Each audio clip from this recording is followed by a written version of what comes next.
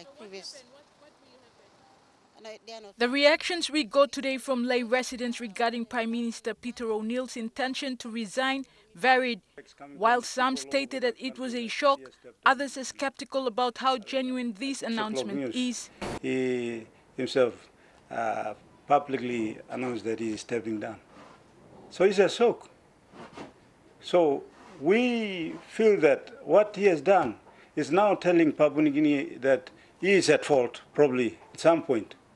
If he is not at fault, and if he has not been falsely accused, he should not be stepping down. Yellow Amu is a head teacher at a primary school in Lae. Uh, he has been one of the teachers who has been vocal about the government's tuition fee-free education policy, not working in the country since 2017. Amu said Peter O'Neill's notice on stepping down as the Prime Minister with the appointment of Sir Julius Chan was unconstitutional. Most of us are not impressed with some of the former prime ministers of running the country down. So we would like to see young, energetic, you know, leaders who have the vision and heart for Papua New Guinea to step into this position to lead the country forward.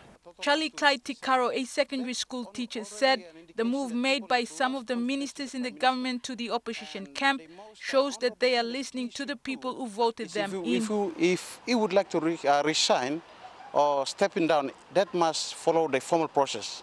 That, is, that must be done through the uh, office of the Governor General.